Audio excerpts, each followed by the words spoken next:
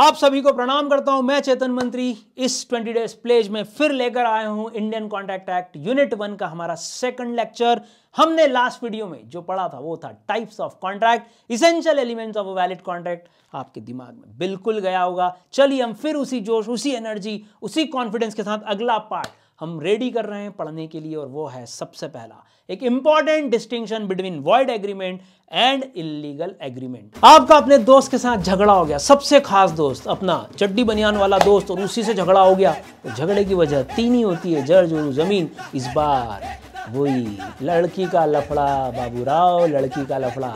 दोनों लोग भिड़ लिए। अब कोई तीसरा व्यक्ति उनको समझाना है कि यार तुम इतने अच्छे दोस्त हो लड़ क्यों रहे तो उन दोनों ने सबसे पहले तो क्या बोला? ये तू होता कौन मेरे बीच में बोलने वाला?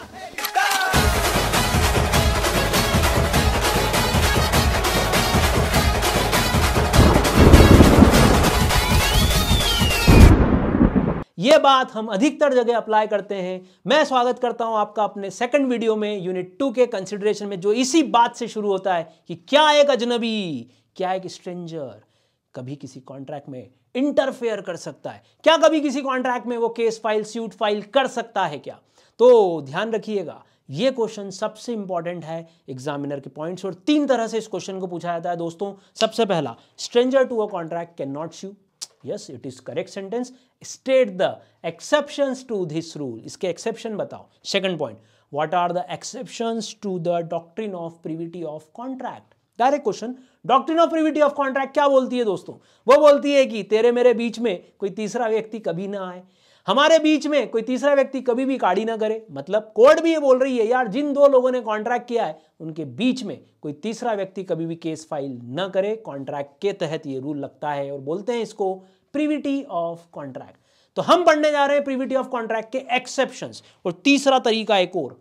There can be a stranger to a consideration there can be a stranger to a consideration but not stranger to a contract और इस पर आपको कमेंट करने को बोला जा सकता है। ये तीन तरह से क्वेश्चन आता है। दोस्तों, ध्यान रखिएगा प्रीविटी ऑफ़ कॉन्ट्रैक्ट के exception stranger to a constitution हो सकता है, स्ट्रेंजर टू अ कॉन्ट्रैक्ट नहीं हो सकता डायरेक्ट कमेंट करने को क्वेश्चन आ सकता है। सिक्स मार्क्स डायरेक्ट क्वेश्चन बहुत इंपॉर्टेंट सिंगल लाइन में हमको ये बात खत्म करनी है एग्ज़ाम में। बहुत ज़्यादा एक्सप्लेन नहीं करना है।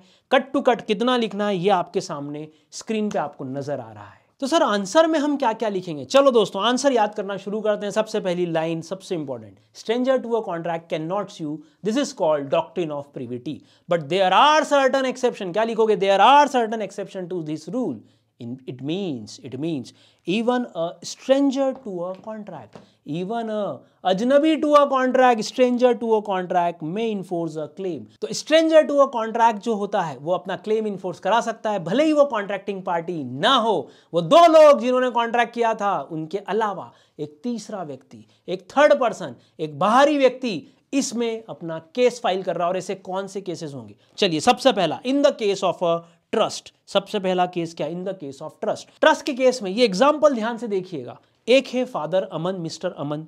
अमन एक व्यक्ति अपने दोस्त पे भरोसा करते हैं, नाम भी उसका विश्वास राव है और उनका बच्चा है चैन सिंह। तो अमन ने क्या किया? अमन ने अपने बच्चे माइनर चाइल्ड के लिए, जिसका नाम है चैन सिंह, उसके लिए एक ट्रस्ट क्रिएट किया। कैसे? फादर ने इमूवेबल प्रॉपर्टी दे दी ट्रस्टी को, जिनका नाम था विश्वास राव। इस शर्त पर। इस प्रॉपर्टी से आने वाली इनकम से मेरे माइनर चाइल्ड को बेनिफिट पहुँचना चाहिए। देखा जाए तो कॉन्ट्रैक्टिंग पार्टी कौन कौन है? मिस्टर अमन और विश्वास राव। बेनिफिशियरी कौन है इस कॉन्ट्रैक्ट का? चेन। तो अमन चाहता है कि मेरा जो बच्चा है फूल सा चेन, अमन बहुत चेन से मरना चाहता है और बोलता है, मेरा जो बच्चा है, चेन सिंह, उसका कोई बाद में ध्यान रखे मेरी डेथ के बाद। ट्रस्टी अपॉइंट हो गए ट्रस्ट क्रिएट हो गया इस केस में। बाद में मान लो फादर की डेथ हो गई। चैन सिंह को पैसा मिलना बंद हो गया, विश्वास राव ने विश्वासघात किया। अब क्या करें? चैन सिंह ने केस लगाया तो विश्वास राव हंस दिया you are not a party to the contract Chain Singh ने बोला but I am a stranger for the consideration ये पूरा कॉन्ट्रैक्ट मेरे लिए हुआ था, जिसमें मेरी तरफ़ से मेरे फादर ऑलरेडी कंसिडरेशन दे चुके क्योंकि विश्वासघात सॉरी विश्वास राव क्या बोलने वाले थे? सेकंड बात। पहली बात तो क्या बोली? तू पार्टी नहीं है रे कॉन्ट्रैक्ट में। तो दूसरी बात क्या बोलते? मैं तो तेरे को पैसा दूँगा, तू बदले में मुझे क्या देगा? तो Chain Singh very intelligent guy भली माइनर था, उसने बोला, मेरी तरफ़ से ऑलरेडी थर्ड पर्सन कंसिडरेशन दे चुका है मतलब मेरे फादर कंसिडरेशन दे चुके हैं। अगर मैं प्रॉमिस हूँ तो मेरे बिहाफ पे कोई और कंसिडरेशन दे चुका है। दोनों क्वेश्चंस के आंसर कोड में बिल्कुल सही गए। पहला, चेन सिंह, भले स्ट्रेंजर है बट वो बेनिफिशियरी इस पूरे कॉन्ट्रैक्ट में। He is a stranger to a contract but he is not a stranger to a consideration दूसरा विश्वास राव ने बोला कि मैं तो इसको दूँगा, ये मुझे क्या देगा? तो उसका भी जवाब कोर्ट ने दिया।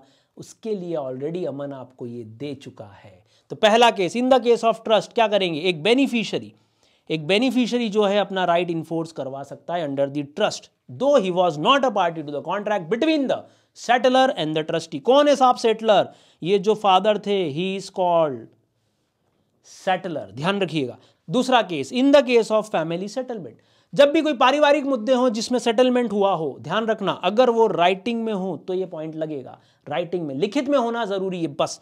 जो भी टर्म सेटल हुई थी परिवार के अंदर, वो अगर राइटिंग में है तो members of the family who. Originally we are not the parties जो उसमें पार्टी नहीं थे, इसके बावजूद वो एग्रीमेंट तो इन्फोर्स करवा सकते हैं।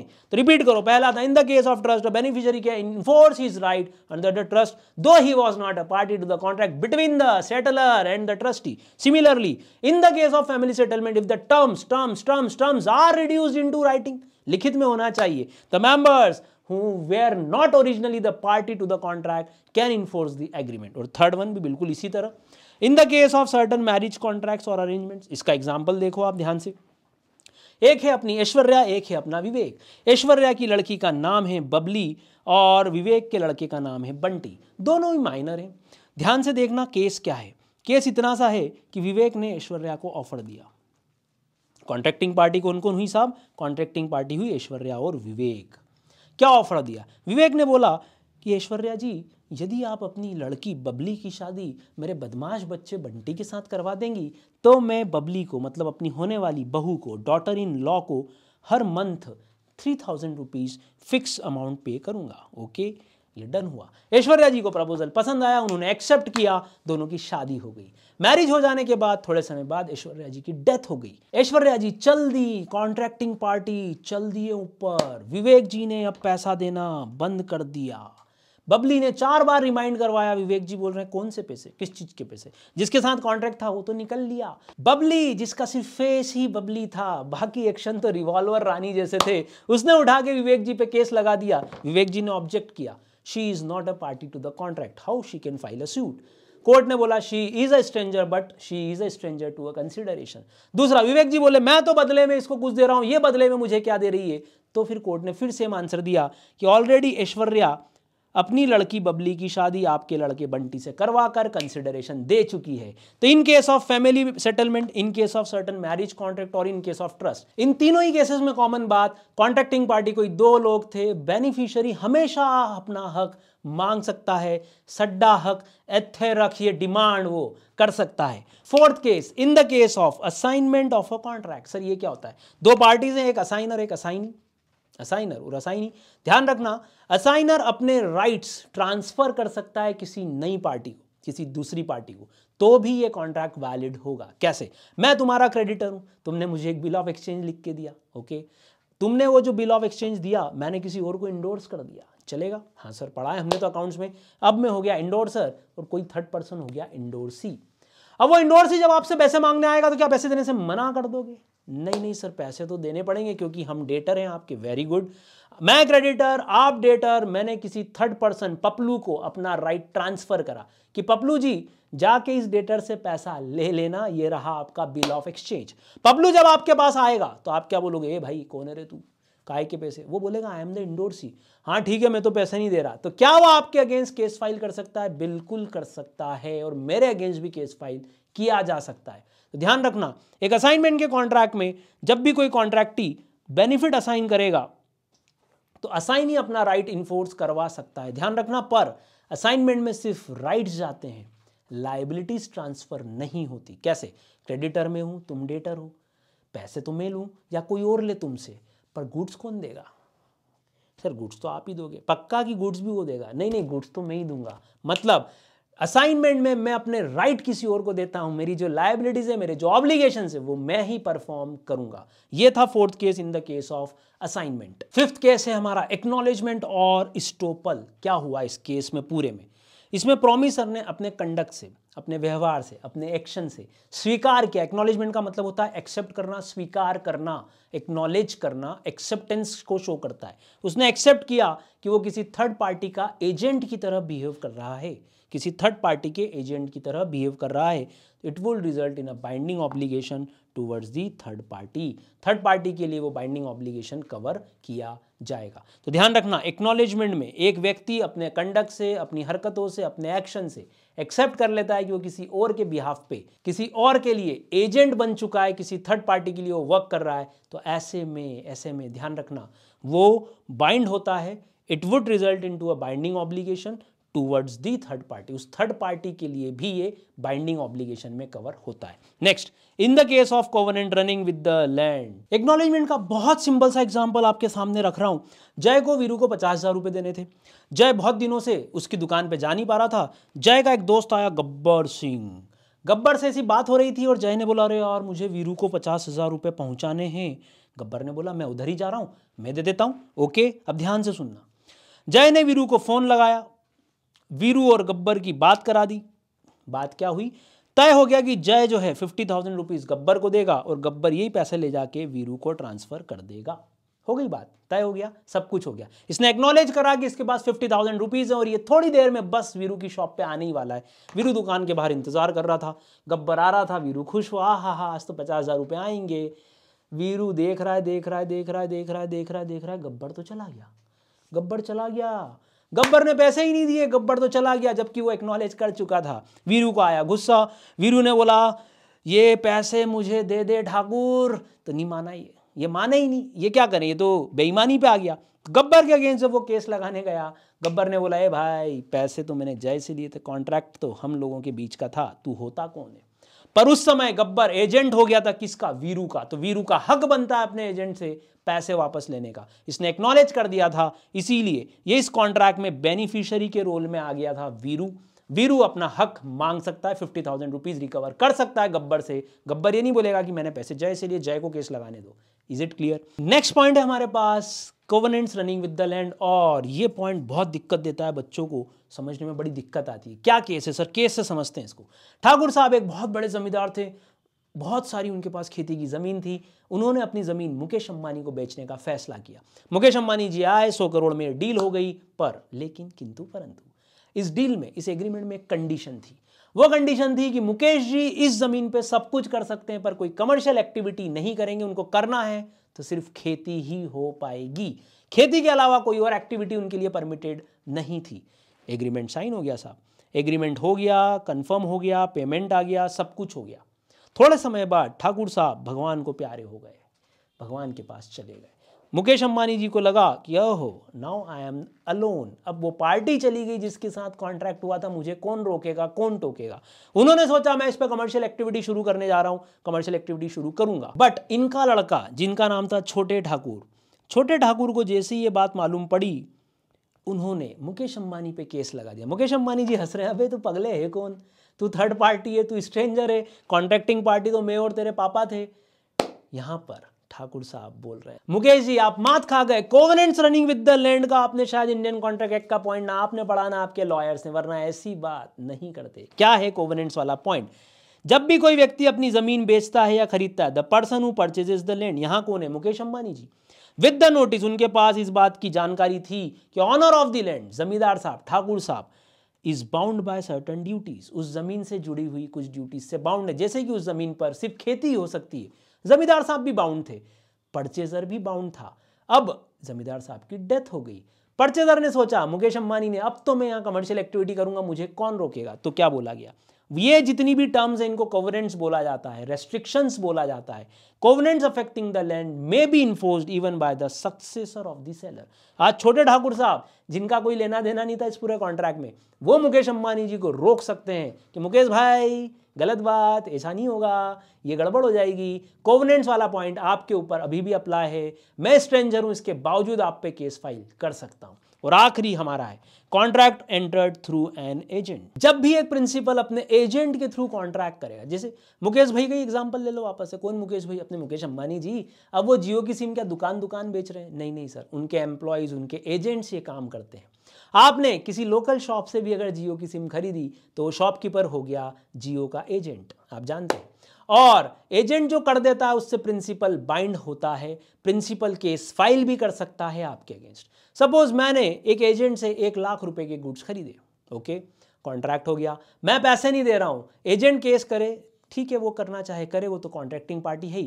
पर उसकी जगह अगर उसका प्रिंसिपल मेरे पे केस करेगा तो भी चलेगा, क्योंकि एजेंट प्रिंसिपल के बिहाफ पे ही एक्ट करता है।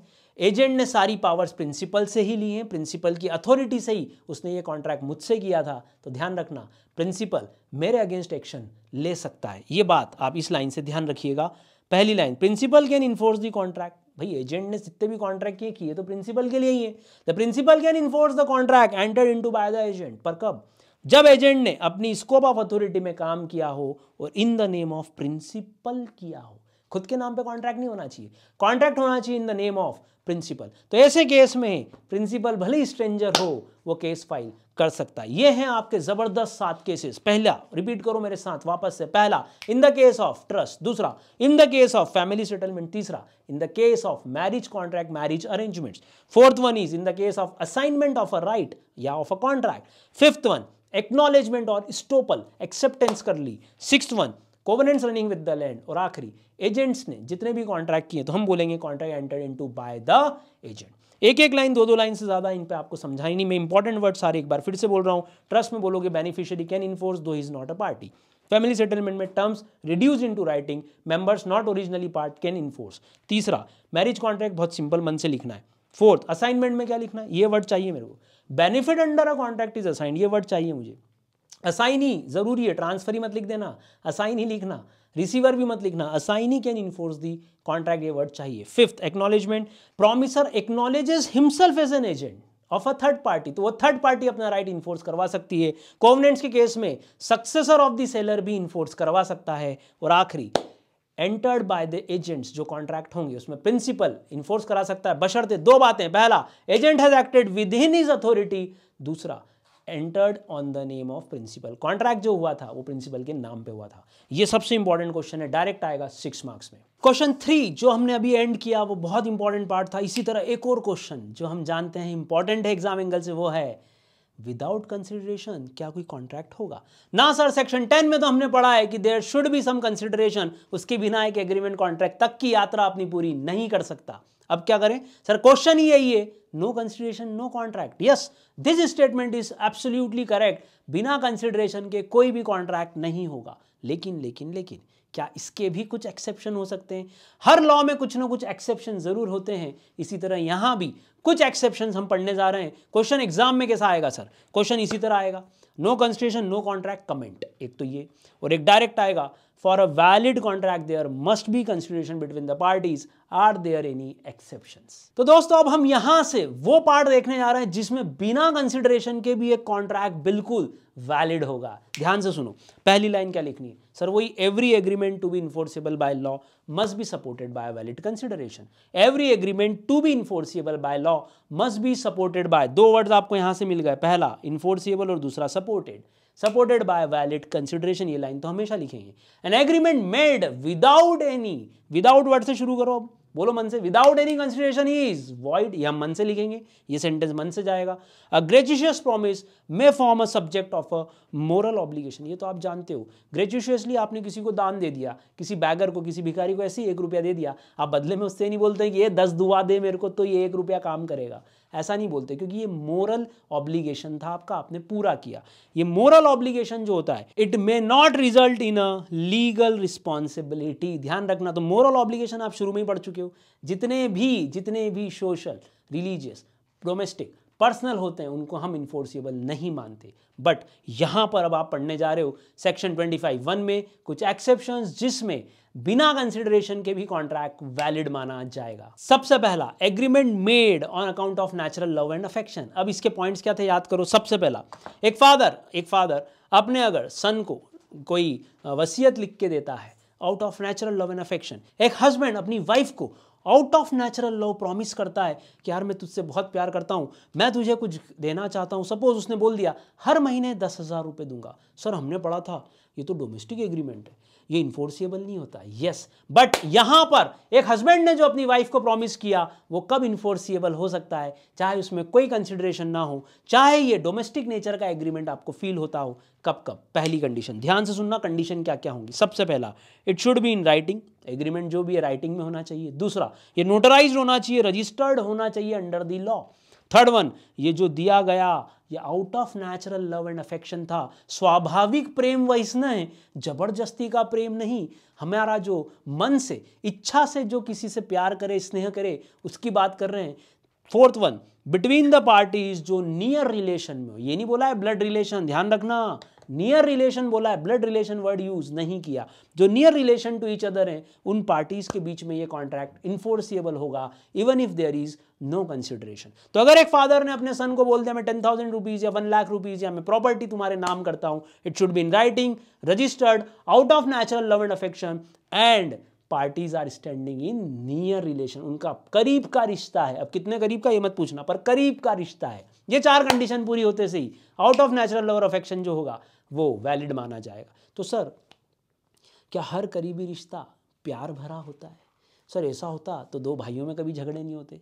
फादर और सन में कभी झगड़े नहीं होते। हस्बैंड वाइफ में कभी तलाक नहीं होते। इसका मतलब क्या करीब का रिश्ता नियर रिलेशन इस बात की गारंटी देता है कि इन दोनों में नेचुरल लव और अफेक्शन हो। ना ना ना सर तो एग्ज़ाम में ये केस आ सकता है, ध्यान से सुनना, कि हस्बैंड और वाइफ के बीच में एक कॉन्ट्रैक्ट हुआ। हस्बैंड ने एक लाख रुपया या दस हज़ार रुपया पर मंथ देने की बात तो कर ली, पर हस्बैंड ने इसलिए की कि भैया, वो परेशान परेशान हो गया था अपनी वाइफ से।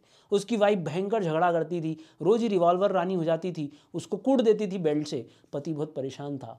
बड़ा अत्याचार हो रहा था उस पर पति ने बोला, मैं देवी, तेरे को दस हज़ार रुपये महीना दूँगा, तू मेरे पे ये अत्याचार बंद कर।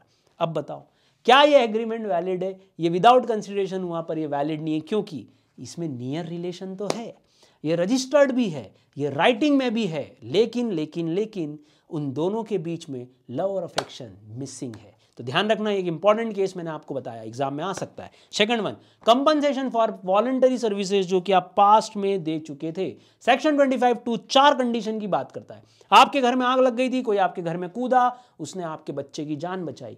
आपने खुशी खुशी उसको बोल दिया, भाई, मैं तेरे को एक लाख रुपए दूँगा।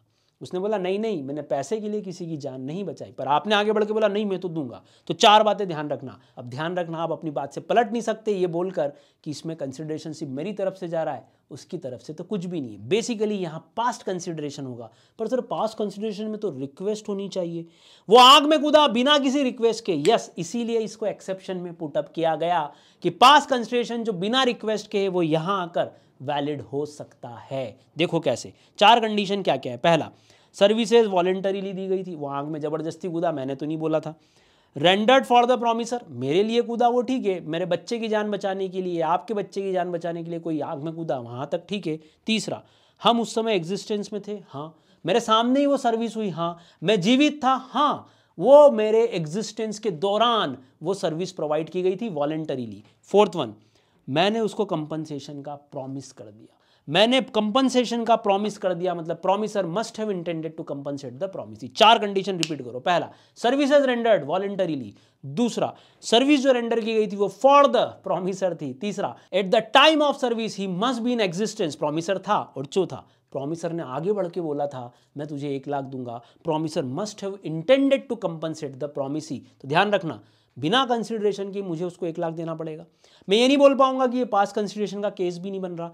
मुझे उसको ये पैसा देना पड़ेगा। Third one promise to pay time barred डेप्ट आप जानते हैं इंडिया में एक लिमिटेशन एक्ट चलता है, जिसमें तीन साल के बाद आप किसी डेटर से कोई पैसा रिकवर नहीं कर सकते। आपके डेटर ने आपका पैसा खा लिया, तीन साल बीत गए, आप उस पर केस फ़ाइल नहीं कर पाए, अब आप उससे रिकवरी नहीं कर सकते। एक दिन रात में अचानक डेटर की आत्मा जागी। उसने ऋतिक रोशन का एक गाना सुन लिया कि खाली हाथ आए थे हम, खाली हाथ जाएँगे। अब जैसी उसको ये बात याद है उसने बोला, अरे यार, मैंने बहुत सारे क्रेडिटर्स का पैसा खाया है। अगले दिन सुबह उठते से उसने हर क्रेडिटर को फ़ोन किया एक लेटर लिख के भेज दिया। वो जितना पुराना पैसा है ना, वो जो टाइम बार डेप्ट है ना, जिसको तीन साल हो गए और आप मुझसे वसूल नहीं कर सकते, वो मैं अपनी इच्छा से देने को तैयार हूँ। ध्यान रखना अब डेटर ने इन राइटिंग अगर टाइम बार डेप को देने का वादा किया है तो आप रिकवरी कर सकते हो। तो सेक्शन 25 थ्री हमको तीन बातें बता रहा है। पहला there is an agreement made in writing ध्यान रखना डेटर से लिखित में लेना। साइन बाय द डेटर और हिज एजेंट ये किस चीज़ के लिए? टू पे आइदर होली और इन सम पार्ट अ डेप्ट विच इज़ टाइम बार्ड ध्यान रखना डेप्ट कौन सा है? टाइम बार्ड लिमिटेशन एक्ट ने उसको रोक रखा है। द एग्रीमेंट इज़ वैलिड तो दो मेन वर्ड चाहिए मेरे को in writing sign by the debtor time barred डेप्ट इनसे आपका सेंटेंस बन जाएगा। Fourth one contract of agency के लिए सेक्शन 185 बोलता है। No consideration is needed if you want to make someone your agent आप मेरे एजेंट बनना चाहते हो, मैं आपको कुछ नहीं दूँगा अभी। आप मेरे एजेंट बन जाओ कॉन्ट्रैक्ट कर लेते हैं। बस, इतना सा होता है। फिफ्थ कंप्लीटेड गिफ्ट ये भी सिंपल एग्ज़ाम्पल है। 25 सेक्शन का एक्सप्लेनेशन वन बोलता है, अगर फादर ने अपनी सारी संपत्ति अपनी लड़की को दे दी तो दे सकता है। कुछ कुछ लव एंड अफेक्शन जैसा केस है, पर यहाँ हम गिफ्ट की बात कर रहे हैं। डोनर ने जो भी दे दिया, डोनी को, धोनी को नहीं, डोनी को डोनर ने जो भी दे दिया, डोनी को अब बदले में आप ये मत बोलना कि डोनी ने तो कुछ दिया ही नहीं तो ये कॉन्ट्रैक्ट वॉइड हो गया। नहीं, ये कॉन्ट्रैक्ट वैलिड माना जाएगा। भले ही डोनर ने अपनी इच्छा से डोनी को कुछ दिया और डोनी ने बदले में कुछ भी नहीं दिया हो तो भी ये कॉन्ट्रैक्ट वैलिड है। तो ये लाइन ध्यान रखना in case of completed gift it needs no consideration तो एक व्यक्ति अगर अपनी प्रॉपर्टी रिटर्न मैनर में किसी को भी रजिस्टर्ड डीड के थ्रू गिफ्ट देता है वो वापस नहीं मांग सकता कैन नॉट क्लेम बैक कि ये बोल के, मैंने तो इसको कुछ दिया, इसने तो बदले में कुछ नहीं दिया। नहीं, बस एक कंडीशन ध्यान रखना रिटर्न एंड रजिस्टर्ड क्या वर्ड है? रिटर्न एंड रजिस्टर्ड ये दो वर्ड बहुत इंपॉर्टेंट है। सिमिलरली नेक्स्ट पॉइंट है हमारा बेलमेंट बेलमेंट दो तरह का होता है, एक ग्रेचुशियस एक नॉन ग्रेचुशियस मीनिंग ग्रेचुशियस जिसमें कोई पैसा इन्वॉल्व नहीं है, कोई मनी इन्वॉल्व नहीं है, कोई कंसिडरेशन इन्वॉल्व नहीं है। नॉन ग्रेचुशियस जिसमें पैसा इन्वॉल्व है। तो ध्यान रखना एक बेलमेंट का कॉन्ट्रैक्ट अगर ग्रेचुशियस है तो वो बिना कंसिडरेशन के भी वैलिड माना जाएगा। बेलमेंट एक सेपरेट टाइप का कॉन्ट्रैक्ट होता है। सेक्शन ध्यान रखना 148 जिसमें ये पॉइंट कवर होता है कि no consideration is required to form the contract of bailment next हमारा आखिरी चैरिटी ओके अरे दान है ये तो यार। सर दान में तो कोई किसी को लाइबल बना ही नहीं सकता, कैसे? मैं मंदिर में गया, मैंने ऐसे ही बोल दिया, मैं यहाँ दान दूँगा, नहीं दिया, कोई क्या बिगाड़ लेगा? इसमें कोई ज़बरदस्ती है क्या? मेरी इच्छा हुई तो दूँगा, नहीं तो नहीं दूँगा। सिंपल बट बट बट ध्यान से सुनना, ध्यान से सुनना। अगर तुमने दान देने का वादा किया था, और उस दान देने के वादे के कारण, जैसे तुमने बोला था, एक लाख रुपए दूँगा, इस मंदिर की सीढ़ियाँ बनवाओ, पंडित खुश हो गया। उसने आपके कहने पर अपनी तरफ़ से पैसा लगा दिया, और उसने वो सीढ़ियाँ, वो स्टेयर्स पूरी कंस्ट्रक्ट करवा दी, फिर वो आपके पास आया कि, मालिक, वो सीढ़ियाँ बन गई है, उनका उद्घाटन भी कर दो और वो एक लाख रुपया भी दे दो। आप पीछे हट गए कि दान में कोई ज़ोर ज़बरदस्ती होती है क्या? ये तो श्रद्धा का विषय है। कौन सी श्रद्धा? वो छोड़ो। ये तो श्रद्धा का विषय है। पंडित बोल रहा, क्या कर रहे हो? तुम्हारे कहने पे सीढ़ियाँ बनवा दी, पैसे लग रहे हैं। पैसे देने पड़ेंगे कॉन्ट्रैक्टर को। वो आप मना कर रहे हो कि चैरिटी है साहब, ये तो दान इच्छा होगी तो देंगे, नहीं तो नहीं देंगे। तो ध्यान से सुनना। लॉ ने क्या बोला? लॉ ने बोला कि यदि कोई प्रोमिसी अंडरटेक करता है किसी लाइबिलिटी को on the promise of the person to contribute to charity बताओ पंडित ने वो सीढ़ियाँ किसके कहने पर बनवाई? सर, हमारे कहने पे। यस मतलब उस बिचारे प्रोमिसी ने लाइबिलिटी ली किसके भरोसे पे? तुम्हारे भरोसे पे एक्ट कर गया तो फिर ऐसे में कॉन्ट्रैक्ट माना जाएगा। अब आप ऑब्जेक्ट करोगे, सर, हम तो एक लाख रुपए दे रहे हैं, बदले में क्या मिल रहा है? दुआएँ मिल रही हैं? नहीं नहीं। बदले में भले ही कुछ ना मिले, इसके बावजूद ये कॉन्ट्रैक्ट वैलिड माना जाएगा। Because the promisee has undertaken the liability on the promise of a person who is ready to contribute to the charity तो ये बात आपको ध्यान रखना पड़ेगी। और केस आपको ध्यान है, केदारनाथ वर्सेस गोरी। मोहम्मद का ये केस था, ये है आपका क्वेश्चन नंबर फोर तो दोस्तों, ये था हमारा क्वेश्चन नंबर फोर जिसमें नो कंसिडरेशन नो कॉन्ट्रैक्ट के आपने पढ़े एक्सेप्शन चलिए बॉस लास्ट वाला, आपके मॉड्यूल का क्वेश्चन है कि to form a valid contract consideration must be adequate ना ना सर ना, सर, अब हम समझ गए कंसिडरेशन एडिक्वेट नहीं होना चाहिए। कंसिडरेशन एडिक्वेट नहीं होना चाहिए इसकी कुछ value it must be of some value but it should not be of proportionate equivalent value, it should not be of approximately equivalent value, it should not be of a particular value ये बात हम already हमारे इस answer में पढ़ चुके थे, और ये मैंने आंसर आपको रेडी करवाया था। फिर भी आईसीआई ने इस आंसर में थोड़े से चेंजेस किए लाइंस में। इन लाइंस को अगर आप देखोगे तो एक दो लाइन इसमें बदली हुई मिलेगी। देखिए कौन कौन सी लाइन इसमें से उन्होंने चेंज की पहली लाइन में उन्होंने बोल दिया contract should be supported by मैं मेन वर्ड्स लेता हूँ तो आपको आंसर दो मिनट में याद होगा। पहला contract must be supported by constitution supported word important हुआ। So long as constitution is there the court are not concern about its adequacy या court are not concern to its adequacy बस होना चाहिए। It should be of some value ये तीसरा word हो गया। Adequacy is for the parties not for the court कैसे? भाई parties to the contract decide the adequacy of the constitution and not the courts ये केस था Bolton versus modern में। इसीलिए कोर्ट को इससे कोई मतलब नहीं है कि कंस्टिट्यूशन एडिक्वेट है यानी कंस्टिट्यूशन होना चाहिए। कितना है, इससे कोर्ट को कोई सेंस नहीं है। इसके बाद आप वही लिख सकते हो जो आपने आगे पढ़ा कि constitution must be something which the law attaches value, though it may not be equivalent in value to the promise made. तो लाइए, पहले पैराग्राफ में क्या क्या सीखा contract should be supported by consideration so far as the consideration exist court will not raise its question about its adequacy तीसरा हम बोलेंगे provided it is of some value साथ ही हम बोलेंगे कि adequacy of the constitution is to be decided by the parties and not by the court it is not the matter of the court court तो क्या देखेगी? It should have some value though it is not equivalent in value to the promise made explanation two to section 25 और क्या आगे कहानी बताता है। ये बोलता है कि अगर एग्रीमेंट में कंसिडरेशन एडिक्वेट नहीं भी है तो भी हम कंसेंट फ्री मानेंगे। तो क्या बोला गया? हम पार्टीज़ की कंसेंट फ्री मानेंगे, हम ये इसको वॉइड नहीं मानेंगे कि भाई कंसेंट नहीं थी if consideration is not adequate तो लाइन क्या होगी? Agreement to which consent is freely given agreement to which consent is freely given, will not be treated as void, will not be treated as void merely, सिर्फ़ इसलिए क्योंकि consideration adequate नहीं है। पर पर पर, आपको याद होगा कि अगर वो बहुत बुरी तरह से कम है, सौ रुपए की चीज़ कोई दस रुपए में बेच रहा है, दस लाख की चीज़ कोई दो लाख में बेच रहा है तो हम क्या बोल सकते हैं? यहाँ पर वो एलिज एलिगेशन लगा सकता है कि कंसिडरेशन एडिक्वेट नहीं है, इस कॉन्ट्रैक्ट को वॉइड किया जाए। तो ध्यान रखना ये बात। एडिक इन एडिक्वेसी में be taken into consideration by the court in determining whether the consent was free or not. Court कभी कभी इन एडिक्वेसी को कंसिडरेशन में ले सकती है। और यही बात हमने यहाँ पर पढ़ी थी। इसमें हमने शॉकिंगली लेस वर्ड पकड़ा था। एलिजियस वर्ड पकड़ा था। तो आप ये पैराग्राफ भी लिख सकते हो। आईसीआई ने क्यों आंसर बदला? मुझे नहीं मालूम। यहाँ पर बहुत परफेक्ट था। If it is shockingly less and the other party alleges that his consent was not free it may be taken as evidence in support of his allegation ये एज इट इज़ लाइन आप लिख सकते हो। तो ये था दोस्तों, हमारे तीन इंपॉर्टेंट क्वेश्चन पहला स्ट्रेंजर कब केस कर सकता है? दूसरा, बिना कंस्ट्रेशन के भी कॉन्ट्रैक्ट कब वैलिड है? और तीसरा एडिक्वेसी दोस्तों नेक्स्ट वीडियो में फिर हम मिलेंगे एक और इंटरेस्टिंग टॉपिक के साथ और पूरा तरह से याद करेंगे ताकि हमारा ये जो लॉ वाला पार्ट है, इसमें हम मैक्सिमम स्कोर कर सके। तो मैं आपसे फिर विदा लूँगा। नेक्स्ट वीडियो में फिर मुलाकात होगी। अपना ध्यान रखिएगा। राधे राधे